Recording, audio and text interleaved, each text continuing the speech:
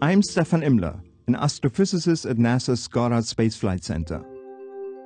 I'd like to take you on a tour of two nearby galaxies in our cosmic neighborhood, the Large and Small Magellanic Clouds, as captured in ultraviolet light by NASA's Swift satellite. These images are the highest resolution wide field surveys of the galaxies at ultraviolet wavelength. Both of these galaxies are less than 200,000 light years away, and each contains a few hundred million stars like our Sun. If you live or travel to the southern hemisphere, you see both of these galaxies as faint cloudy patches in the night sky. Both galaxies orbit our own as well as each other. Of the two, the LMC is physically larger and nearer to us than the SMC. Their messy shapes are a product of gravitational interactions between them, tidal forces from the much bigger Milky Way, and internal processes like star formation. In visible light, we see a mix of sun-like stars, along with pink patches that mark star formation regions, where hydrogen gas is set aglow by the light of young stars. These are especially prominent in the LMC. Viewed at higher energies in the UV, the LMC looks very different.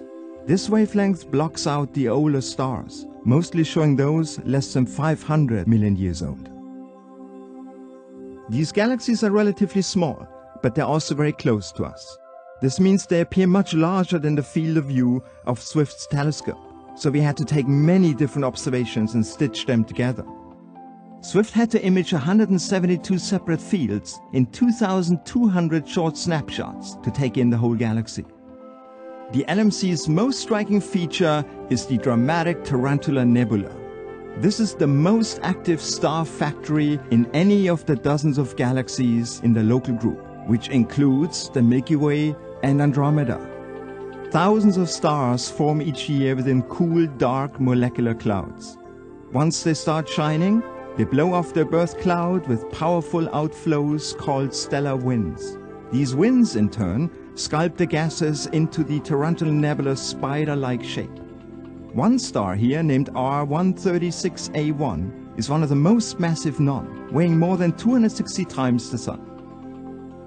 The LMC holds more than a thousand star clusters formed during previous rounds of star formation. We mostly see hot, young, luminous stars, plus a few stars in exotic stages as they near stellar death.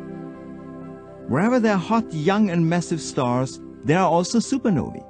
In 1987, the closest stellar explosion in more than 400 years occurred in the outskirts of the Tarantula Nebula. Even 26 years later, the afterglow of the explosion remains detectable in the ultraviolet. All told, the new Swift mosaics reveal about a million objects in the LMC and about 250,000 objects in the smaller, less massive and more distant SMC. For this mosaic of the SMC, Swift imaged about 50 fields and took 656 snapshots. One interesting feature is the massive young star cluster NGC 346. It contains the SMC's brightest star, HD 5980, a triple star system where all members are among the most luminous stars known. The intense light and strong outflows from these stars mold the surrounding gas into a shape resembling a cobweb. The Swift UV mosaics allow us to study the evolution of young stars in the LMC and SMC all in one view. That's impossible for us to do for our own galaxy because we're inside it. The images give us a panoramic window into how stars are born, evolve and die across two complete galaxies.